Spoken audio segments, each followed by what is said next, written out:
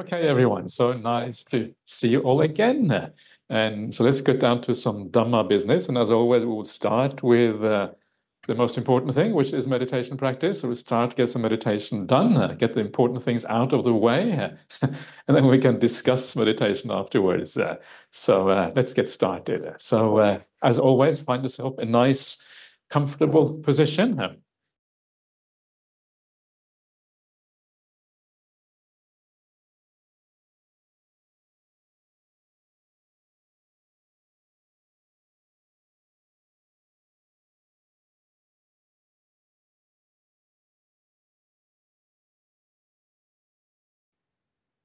And just always start at the beginning just to uh, get that feeling for the body being just right, feeling the body, feeling the mind, but especially feeling the body as you start out. Uh, to make sure you are at ease, that you are relaxed, uh, so you can enjoy the next uh, half an hour or whatever it is. Uh, because if you can't enjoy it, you can't really meditate. Meditation is about enjoyment, uh, enjoyment of the present enjoyment of the uh, good qualities uh, of the mind.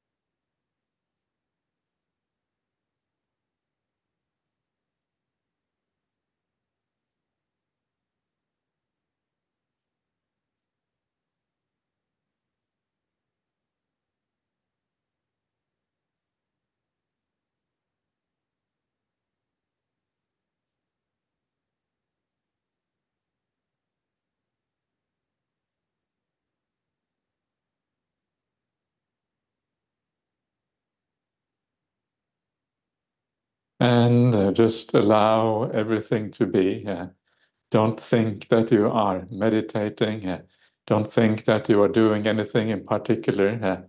Think of yourself more as just resting, resting peacefully, resting with awareness. and as you rest in the right way, you can actually be at ease.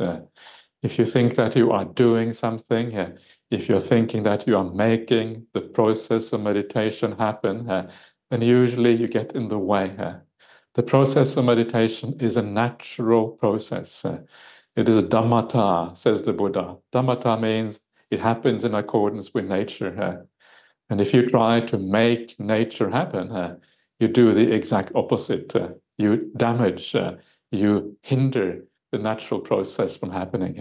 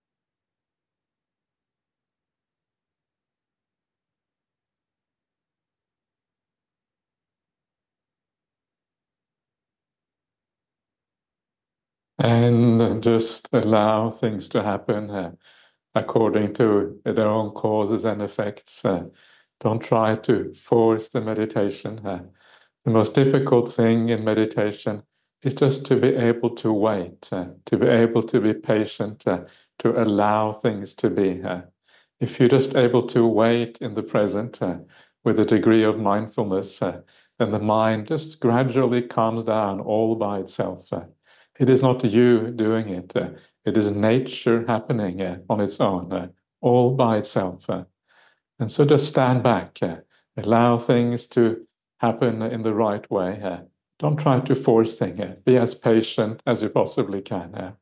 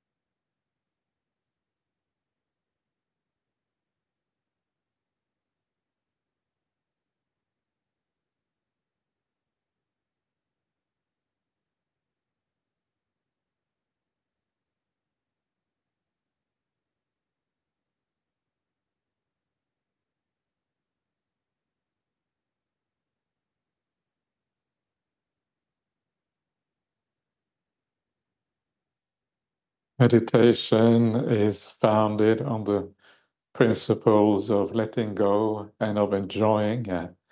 And the letting go, in a large part, just means that you are aware without interfering. It's like the old simile of being a passenger on the train. Uh, You're just observing. You're not involved in the direction of the train or where it is going. And when you come to the breath as your mind calms down, uh, in the same way, you are a passenger, uh, seeing the breath through the window. Uh, you're not in control of the breath. Uh, the breath is like a distant object, uh, something you are observing without involvement. Uh, this is the idea of mindfulness, observing without involvement. and when you do that, you find the breath starts to become delightful. It is the controlling of the world that is painful. And once that control disappears, uh, delight tends to take its place. Uh, and that is the second principle of meditation, arising all by itself. Uh.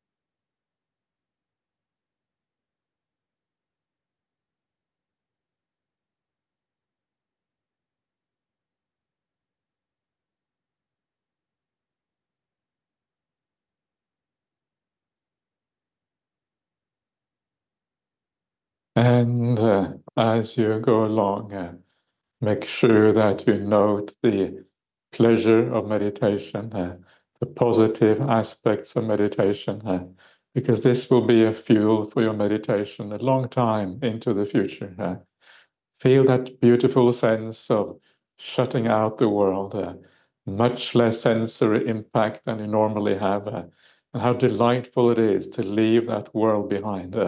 Uh, it is so busy, uh, it is so much activity, uh, so much doing uh, that it is impossible to feel really peaceful in that world.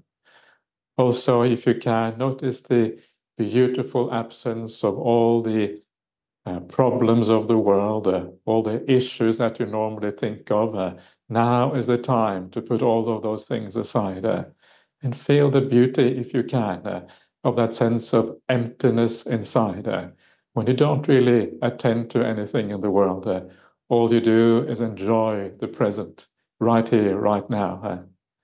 and then lastly, also enjoy the idea of not doing anything seeing that doing is such a, a waste of or a drain on the energy uh, is such a, uh, a, painful thing in many ways. Uh, and when you don't do uh, and you just be instead, uh, actually, it's a much more pleasant abiding.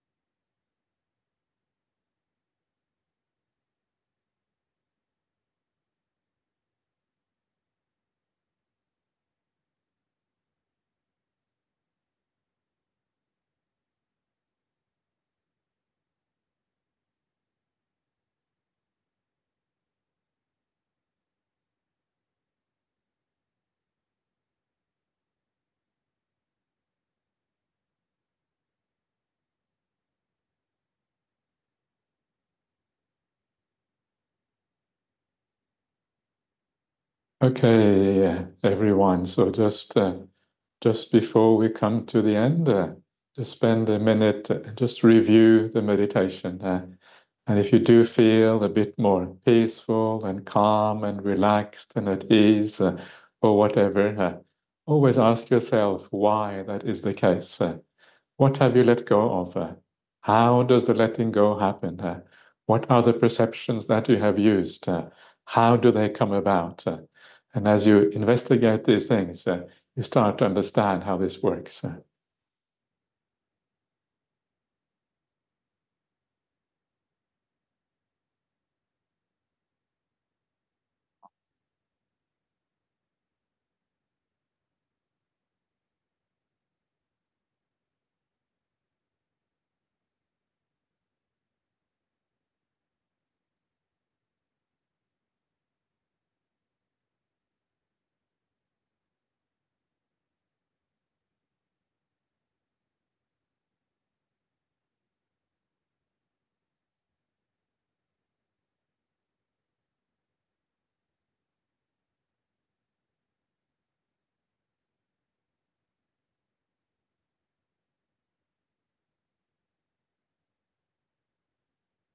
Okay, okay, okay, everyone.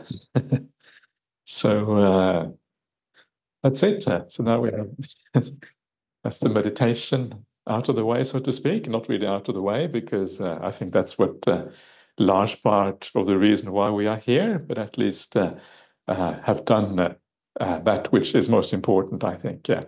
So I'm going to now come on to a Dhamma talk. I'm going to talk just a little bit about uh, as usual, some aspects of the Dhamma. I think last time we were together, I spoke a bit about uh, the practice of metta, and I'm going to continue a little bit on that, I thought. Uh, uh I'm going to broaden it out to talk about all the four Brahma Viharas uh, and how they come about, what they are, uh, and etc. Et because all of these Brahma Viharas are very beautiful things and it's very useful for us to use them at different times and in different ways uh, uh, to enhance our spiritual practice. Uh.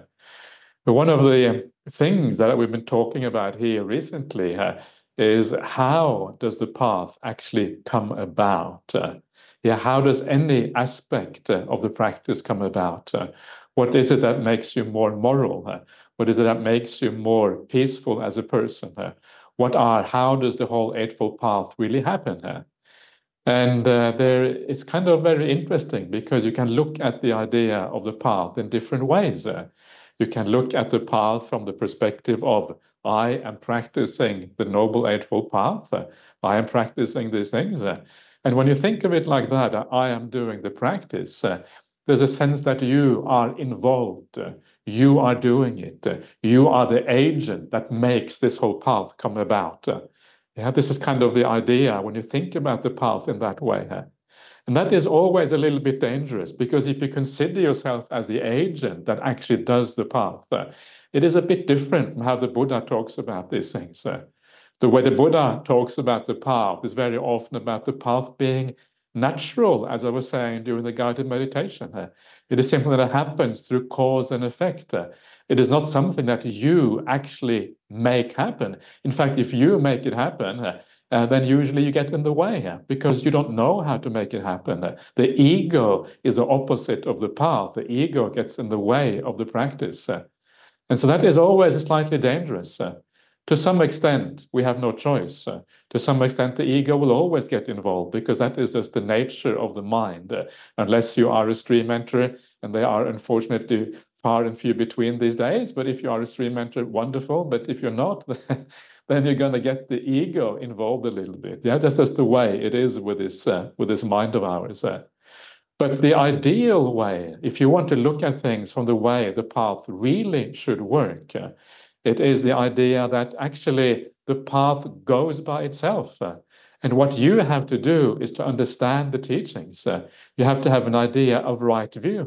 You have to have an idea of the foundation for this whole thing. And as you have that in place, the path unfolds. And this is why on the Noble Eightfold Path, we have right view at the beginning. The more solid that right view is, the more you just do what you have to do. You want to be kind. You want to be generous.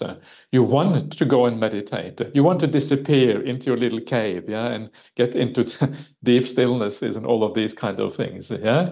And it's beautiful. I I just observe my own teacher here, Ajahn Brahm, and see how he lives his life, and it's the most wonderful way of living his life. He says that as soon as he can possibly escape, he just disappears. Uh, his mind is always leaning towards meditation, leaning towards samadhi, uh, leaning towards these things. And so, as soon as he sees kind of a, a, a kind of a hole in the program, he just disappears, and, and suddenly he's gone. Actually, these days, suddenly he's gone. That's not really true anymore because he's too weighty to be gone very suddenly.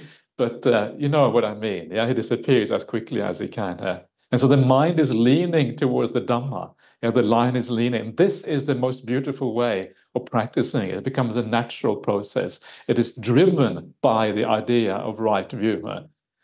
And this is also true for the Brahma Viharas. Yeah, if you want to practice the Brahma Viharas, it is about how you look at the world.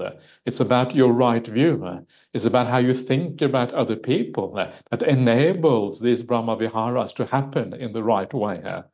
Yeah, if you want to have metta towards the world, well, it depends on how you look at other people.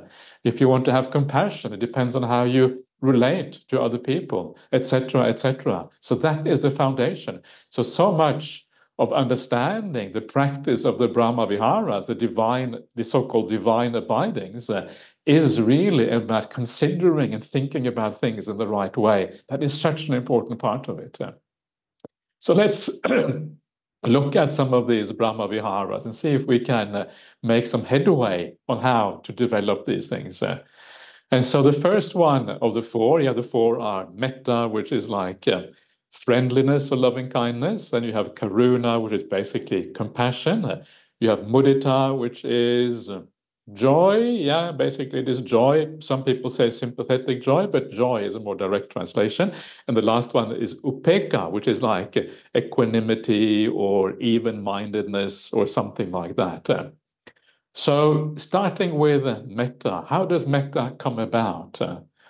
And uh, the way metta comes about is actually described. Yeah, it is. You can find it in the suttas if you know where to look. It is also described very concisely in that beautiful meditation manual called the Visuddhimagga. The Visuddhimagga is kind of a um, draws together many of the various lines and strands from the suttas and puts it together in a very concise form. And it says in the Visuddhimagga, and it's also echoed in the suttas, uh, that to have metta, you have to see what is manapa in other people. Uh. And the word manapa means what is pleasing in other people. Uh. When we see the pleasing side in others, uh, and manapa is also very closely related to the idea of the word piya. Piya means dear in Pali. So when you see those aspects that are endearing, uh, yeah, endearing qualities or pleasing qualities in others, that is when metta happens. And that is a very useful thing to understand because then you actually know really how metta can happen. Yeah, this is so. What does this mean in practice? Well, what it means in practice is that when you sit down, the very first thing you should establish is this perception of endearing and pleasing qualities in somebody or maybe in the world at large or whatever. Yeah, that is the first thing to establish. So if you want to do the metta practice, you should you think of somebody. Yeah, the, they often say the loved person or the liked person, but someone who you see the good qualities in. And when we talk about good qualities, we usually mean good spiritual qualities. Yeah, so someone, I don't know who is your favorite person in the world, and maybe uh, whoever that might be. It doesn't have to be Ajahn Brahm or Venerable Chanda or anything like that. It can be anything really. Uh, sometimes it is best not to make it personal.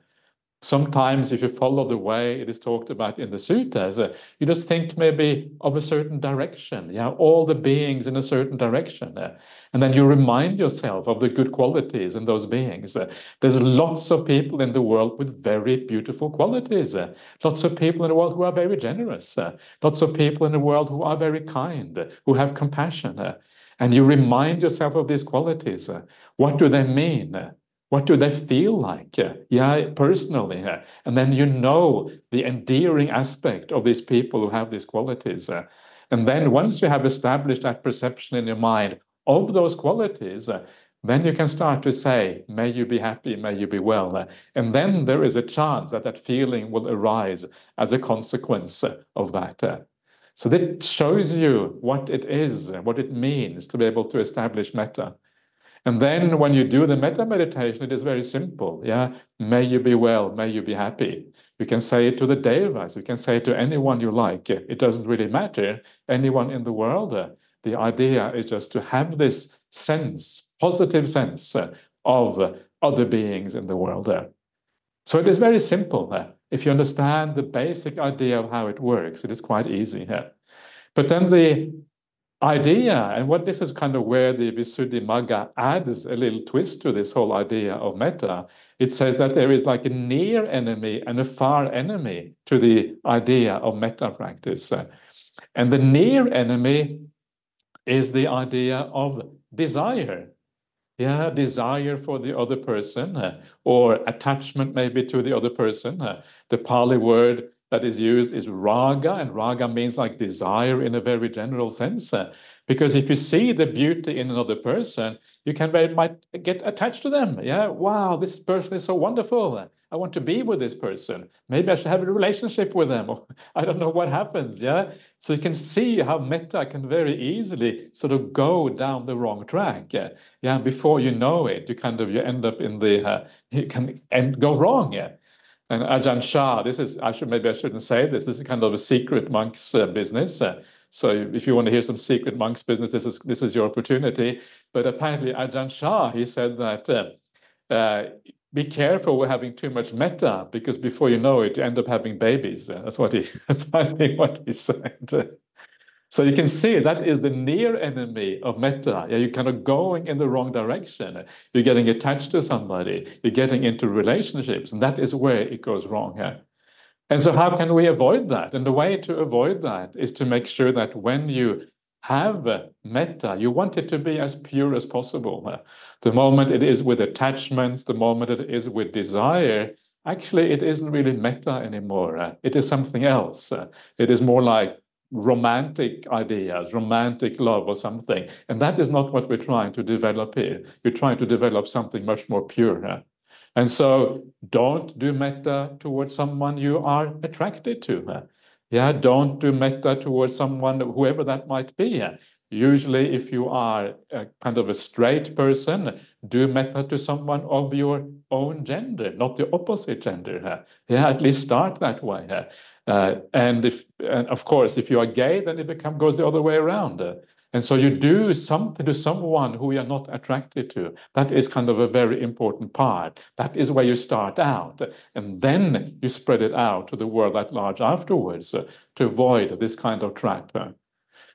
There's another interesting idea that is taught in the Visuddhimagga. You shouldn't have metta, it says, towards dead people, because if you do it towards dead people, you can maybe become a bit sad. You can miss the person.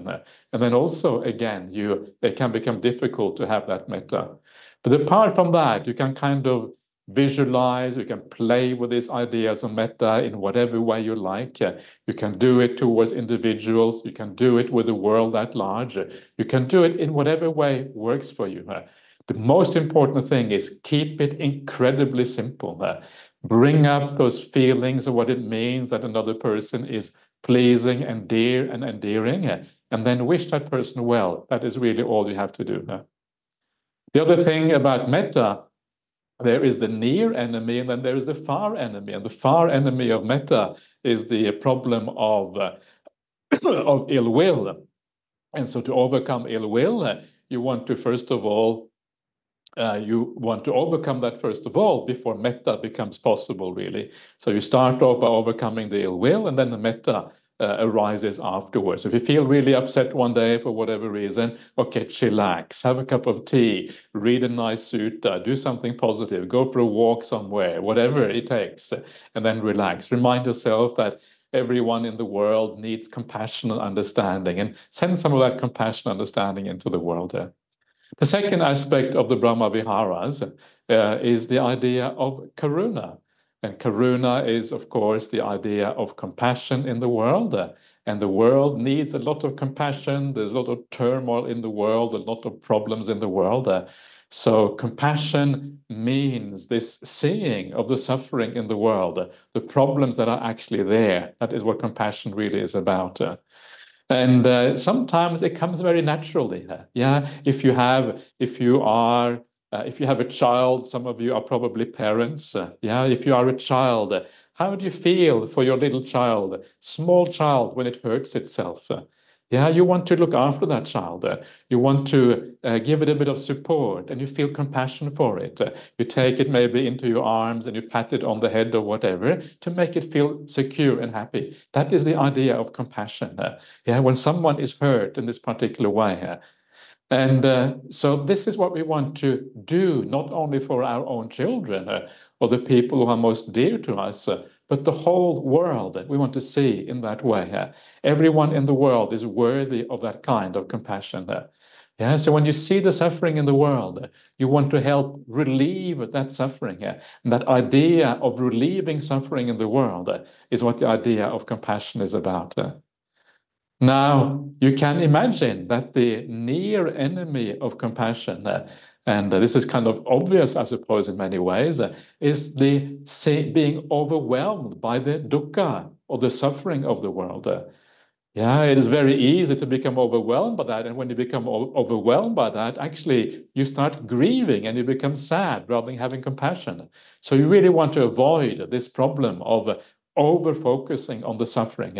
You want more to focus on the solution to the problem. Okay, may you be well and happy. Yeah, I'm going to help you to be well and happy. May you be well and happy. Yeah, yeah may you be free of suffering. Yeah, that should be the focus, the relief of suffering, rather than the uh, um, focus too much on the suffering itself. Uh.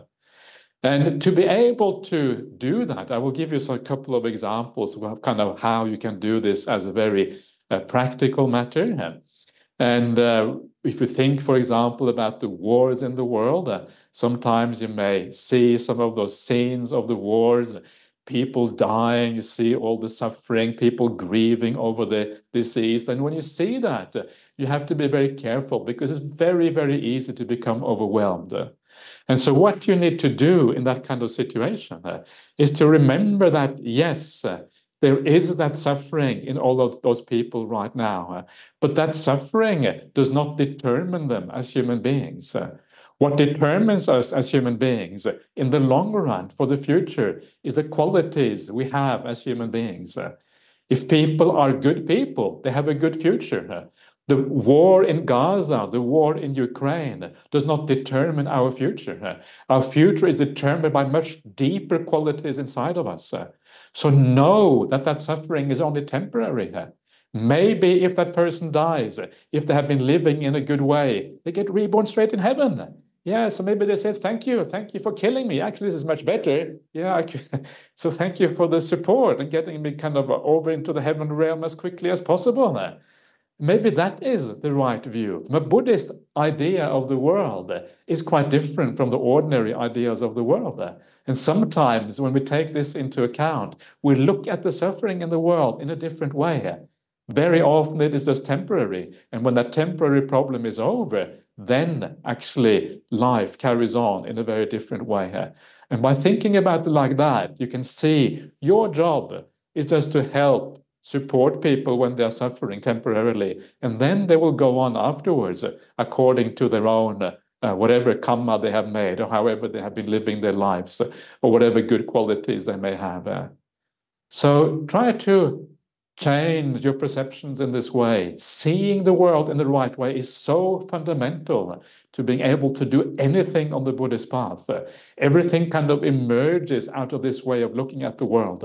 And then you will not be overwhelmed by this thing we call suffering. You will be able to have compassion, which is supportive instead. The far enemy of compassion is the idea called the vihimsa in the suttas. And vihimsa is like uh, the idea of uh, um, being harmful to beings in the world, uh, not caring what your consequences of your actions are, not really, you know, not really uh, just being, sometimes it can even mean cruelty. Cruelty is obviously an aspect of vihimsa.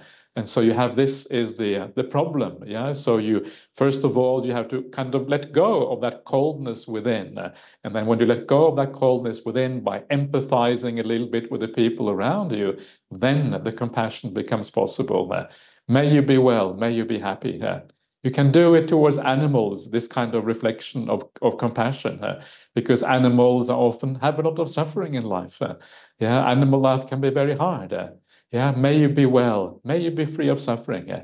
May you get reborn again soon as a human being. Yeah? So you can carry on the good practices that maybe you did before. Uh, and then you can have compassion in the right way. Uh.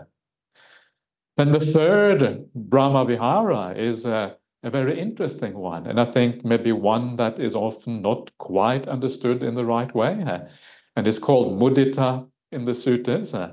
And mudita uh, means really just the idea of joy or gladness of the mind. Uh, sometimes it is translated as sympathetic joy, as if it is directed to the world around us. Uh, but it is not obviously the case that that actually is what is happening with, the, with this particular Brahma Vihara.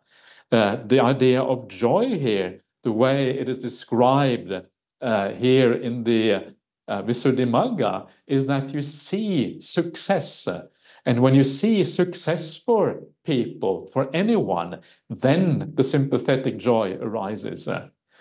Yeah, so seeing success is the most important thing here. So, who should you see success for? Well, it is just like it is with compassion, and as it is also for metta, that success can also be your own success. Uh. It doesn't have to be about other people. It can be the success in your own life. And so when you rejoice in the successes in your own life, especially those successes that have to do with the spiritual path, then you have a degree of joy inside of you.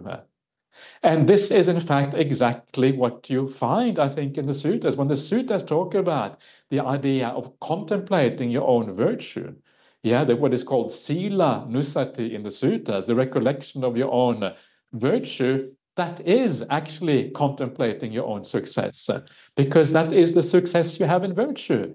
You remind yourself that you are living on the five precepts or whatever it is that you are living on. You remind yourself that you are trying to be kind, and what a wonderful thing that is in the world. Or you do the Tyaganusati, the recollection of your generosity, that is also a recollection of your success. Yeah, wow, I'm succeeding to live with a heart which is not stained by stinginess.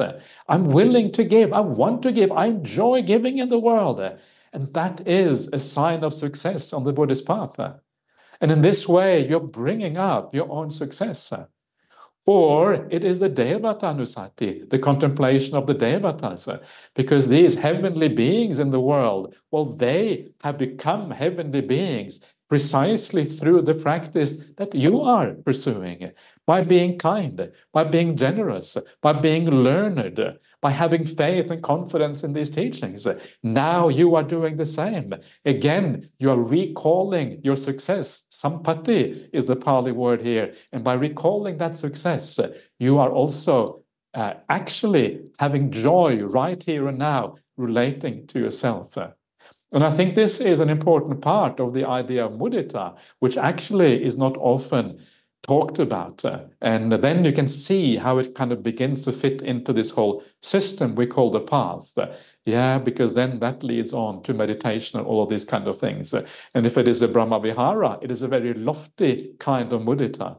It is the success now that you are rejoicing in uh, is the success of samadhi, the success in mindfulness, the success in the Brahma Viharas in their own right. Uh.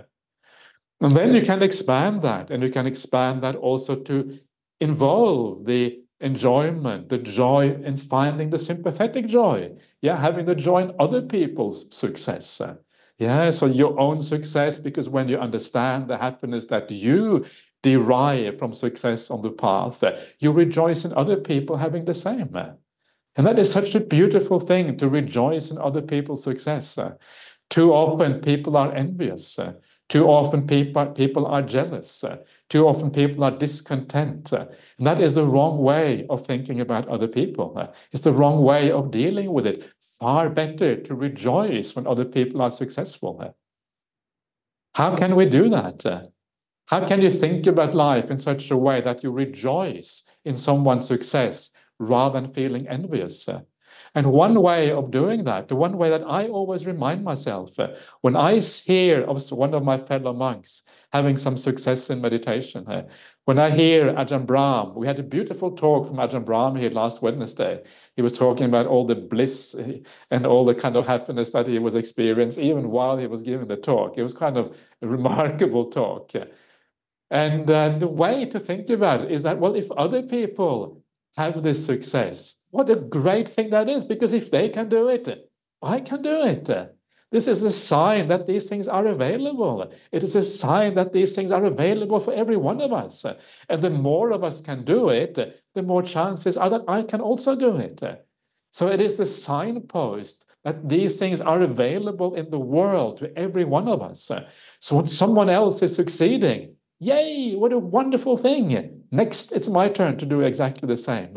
And that is the right way of thinking about it. Then there is no jealousy. It is a mutual rejoicing in the good spiritual qualities. And then we can all kind of move forward on that basis. So, what is the near enemy of mudita? And the near enemy of mudita, of this thing we call joy or sympathetic joy, uh, is um, the idea of thinking of success in worldly terms. Yeah, someone is successful in finishing their exam, or someone is successful at work, or someone is getting a raise, or someone is getting a promotion, or someone is finding a new sweetheart in their life, or whatever it might be. And these things are important for most people, and I understand that. Uh, but we want here to move one step higher. Uh, we want to kind of clear a bar which is kind of laid fairly high up. Uh, and so we want to kind of focus on the spiritual rather than the worldly. So rejoice in spiritual successes. Rejoice in worldly successes also, if you like, but that is not what this really is about. That kind of lowers your mind a little bit. You want to lift it up to a higher level. This is what this really concerns.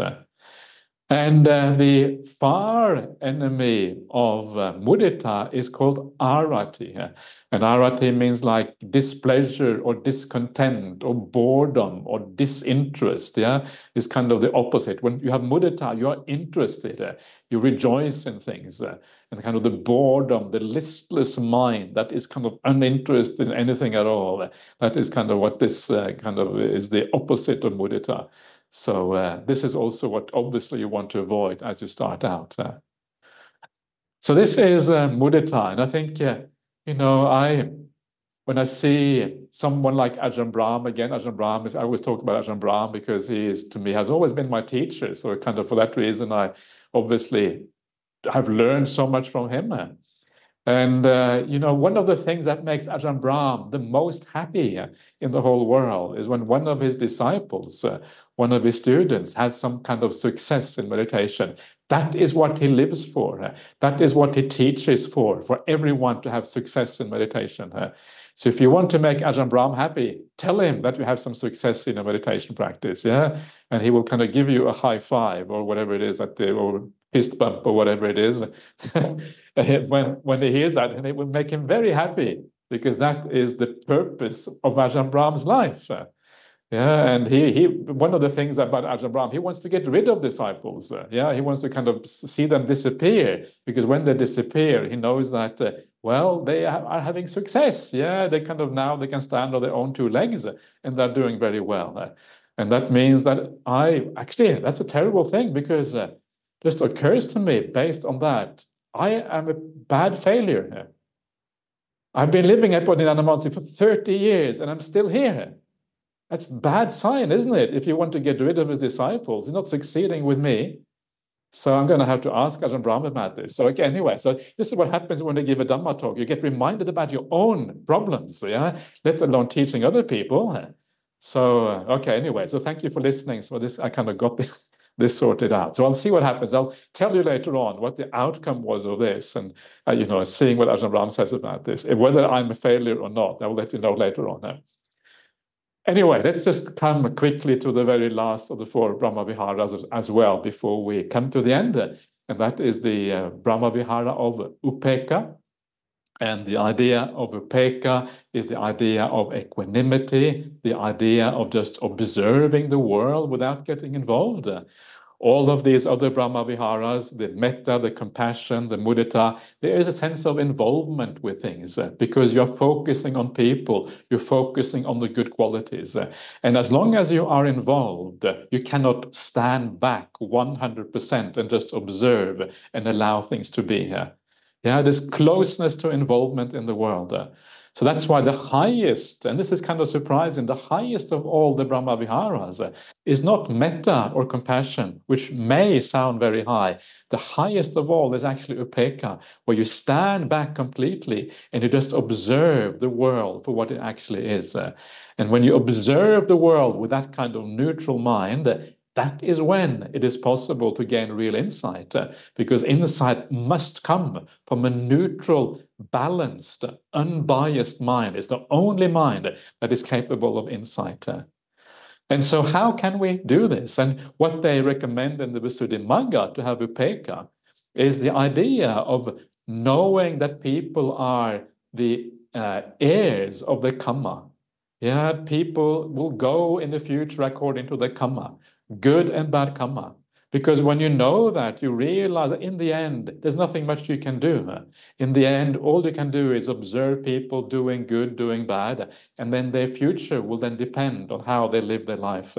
And so you stand back, not looking at the good qualities, not looking at the suffering, just understanding this inexorable law of karma, which drives people and beings forward through this kind of samsaric existence. And as you do that, you feel upekkha. You may even feel a sense of dispassion and aversion because it is not very nice, really, at the end of the day. And so you pull back and then you observe. And then you may actually, that is where things really start to happen. So, what are the near enemies and far enemies of upekkha?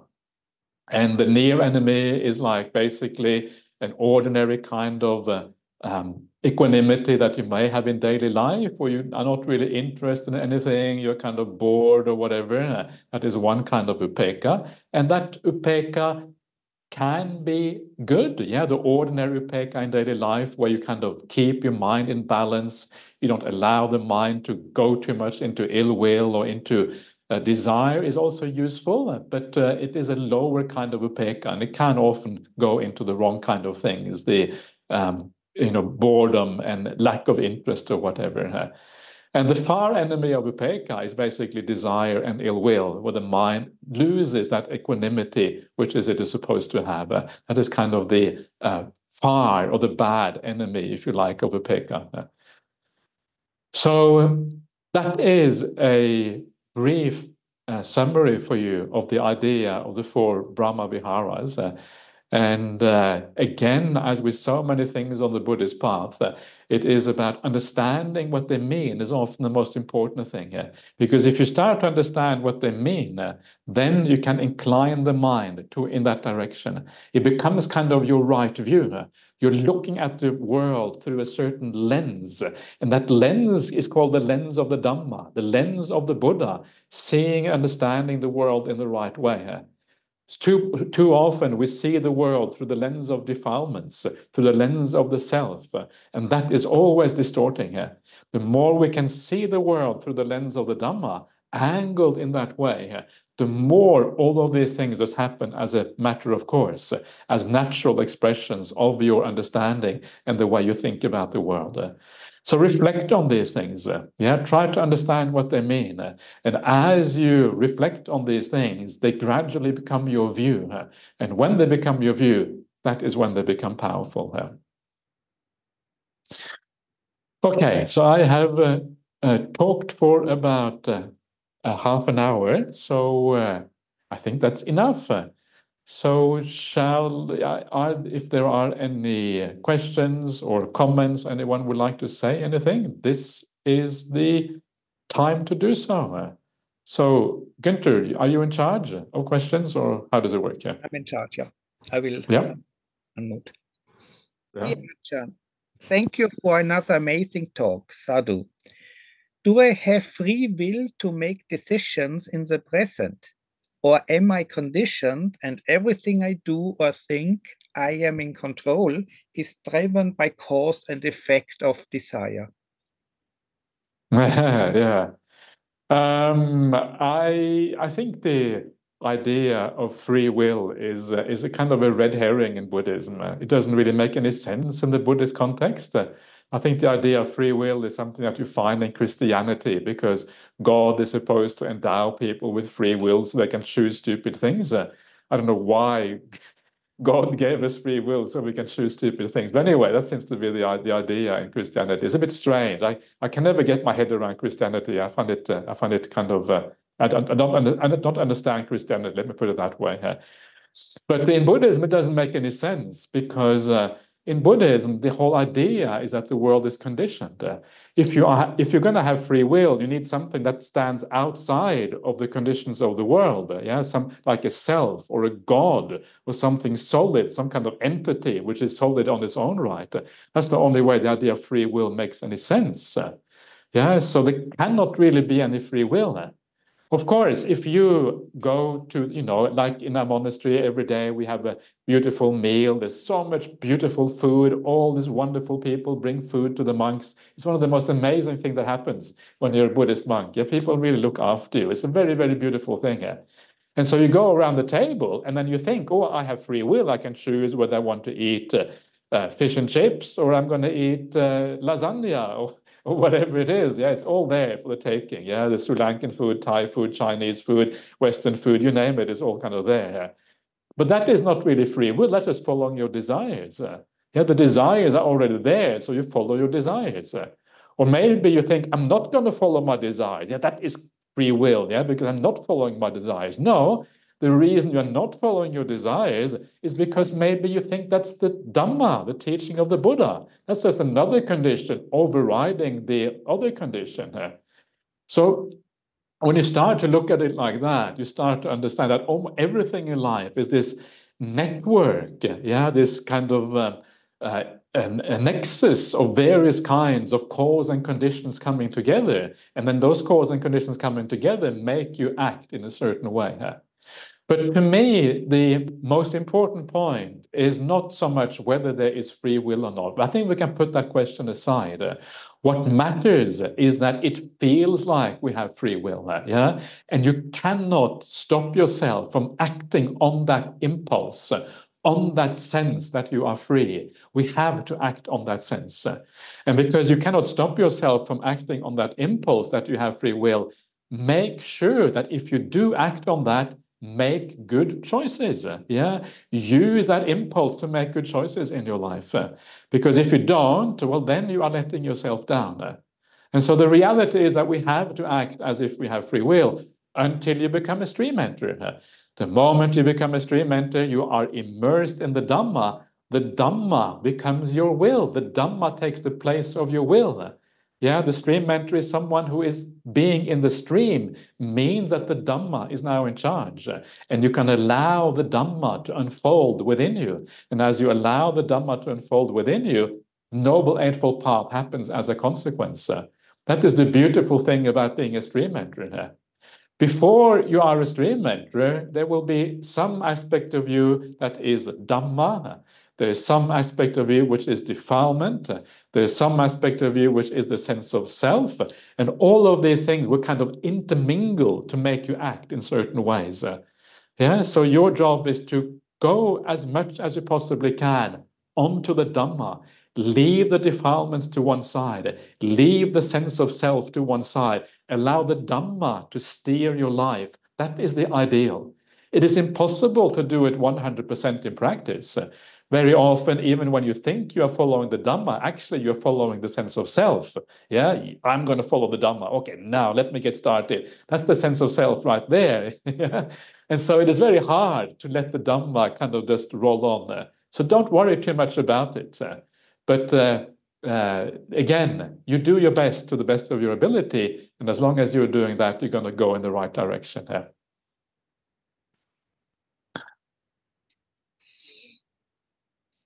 Okay, Günther, Mr. Günther, please fire away here. There is one more question.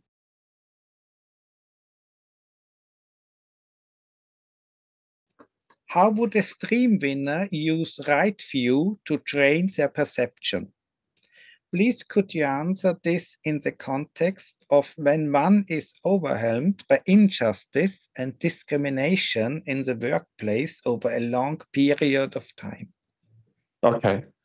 So um, the stream entry doesn't really have to use right view or, or use perception. For the stream entry, it is kind of, it is natural. Uh, so the question is, I guess, suppose how would a stream enterer, I suppose, deal with that situation? Maybe that's kind of the question. How does a stream enterer deal with a situation when you are discriminated against and you are treated badly? And I would say that the stream enterer would uh, uh, uh, would bring it up. Yeah, they would say, okay, go to the, whatever person might be able to listen. Your boss or someone in the up in the hierarchy maybe talk to the people directly who are causing you trouble, see if they can be talked out of it, yeah, and try to resolve it in that way. A stream enterer is a very courageous person. A stream enterer is not someone who is afraid of what other people will say or whatever they will do. They will just do what is appropriate, looking after themselves. Yeah, so this is kind of one thing about the stream enterer. The next thing the stream enterer would do, the stream enterer will not be attached to the job. Yeah, the stream enterer will say, okay, if this is the job, I can't resolve it. Uh, they would probably leave and they probably would sleep under a bridge if they had to, rather than kind of stay in that kind of job. Yeah. So if they had, if they needed the money, because and then they would rather kind of just do something, kind of you know, go sleeping on the bench in the park or whatever, because uh, why not? Yeah it's a freedom in sleeping on the bench in the park. Yeah. And so sometimes I think uh, taking a stream enterer as our guide or as our role model can sometimes be too high, too ambitious, uh, because these are people who can renounce very easily and who can kind of give up very easily very often we are a little bit trapped in the situations that we find ourselves in.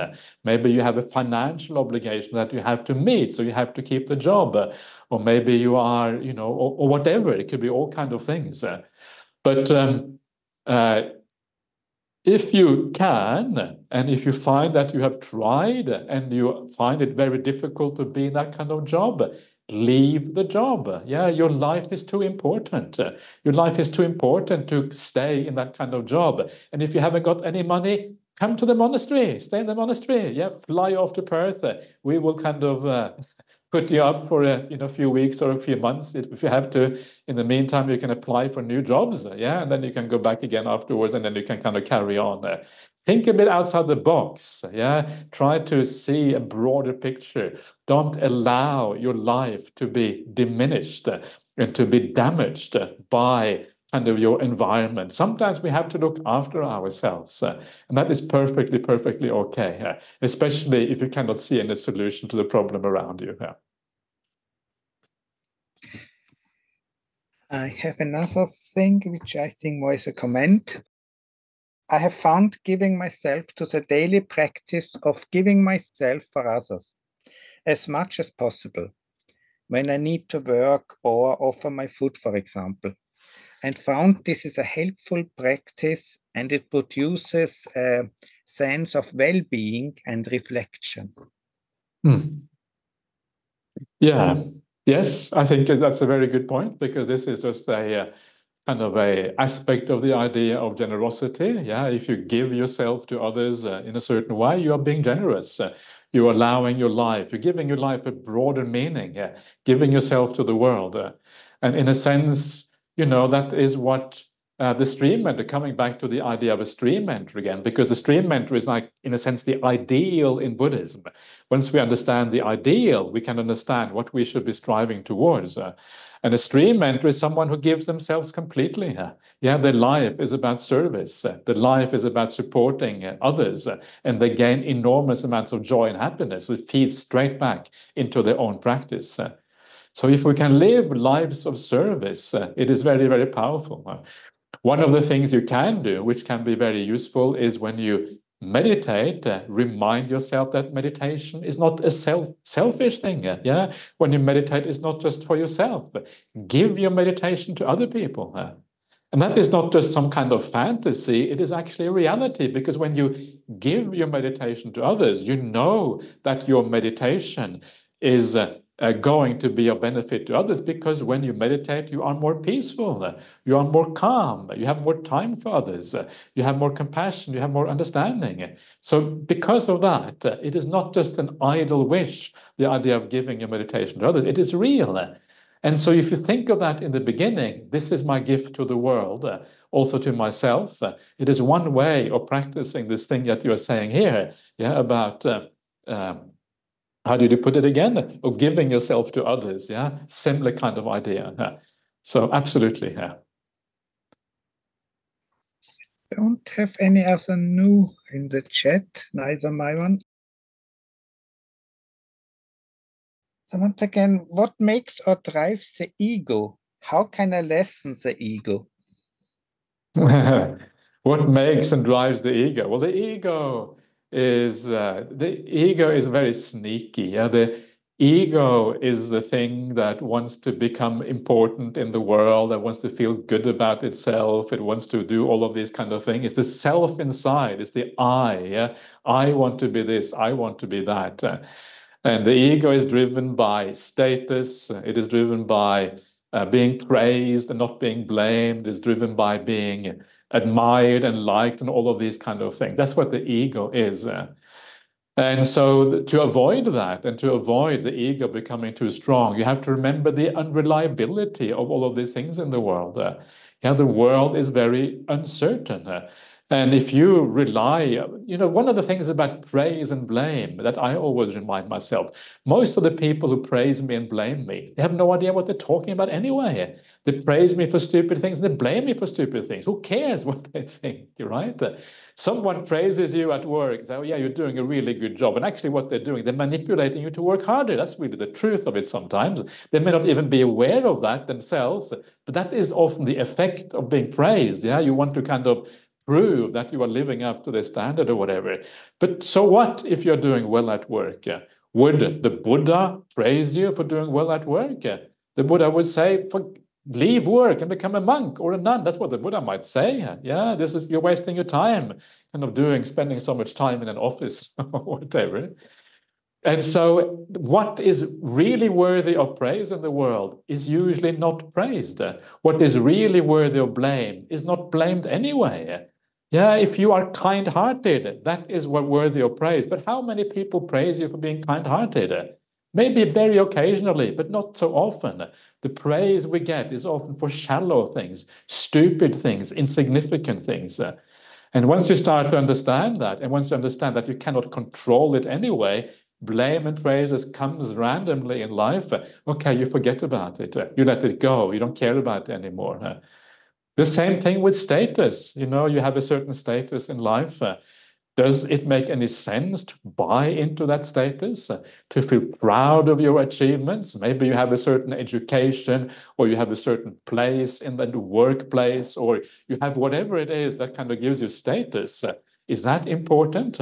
It is very unreliable. It is very uncertain. You have it one day, the next day it's gone. You have it one life, the next life it's gone. That is not reliable. And if you buy into those things, into that kind of status, it means that you are very often, you tie yourself up to something that is unreliable. You're going to end up becoming very disappointed as a consequence of that. So try to see through these things, these empty things in life, which are not really important.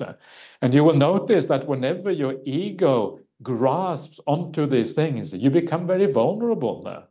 Yeah, very vulnerable to the downside, very vulnerable to these things actually falling apart. And that vulnerability, the ego is a very vulnerable thing, and that is a very big part of the problem. But the most important way of overcoming the ego is simply to practice the Noble Eightfold Path. Yeah. Um, if you are consistently kind, if you are consistently compassionate, if you are consistently understanding, there can be no room for the ego because the ego will sometimes not want to be kind. Yeah, if the ego is challenged and you feel bad about something or whatever it might be, then the ego will not want to be kind. So if you then try to turn it around, you don't allow the ego the upper hand, you are undermining the ego merely by being kind, merely by being generous, merely by not allowing the ego to kind of rear its ugly face, as they say here. And then you're already kind of on the right track. Yeah?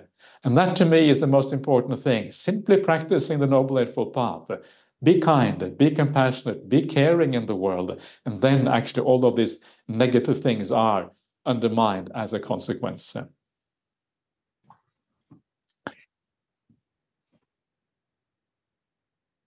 Thank you, Ajahn Brahm, for your valuable advice. Ajahn. Brahmali. Brahmali. that was the last comment. Excellent. Um, Yeah, and uh, possibly Shirley, you can talk.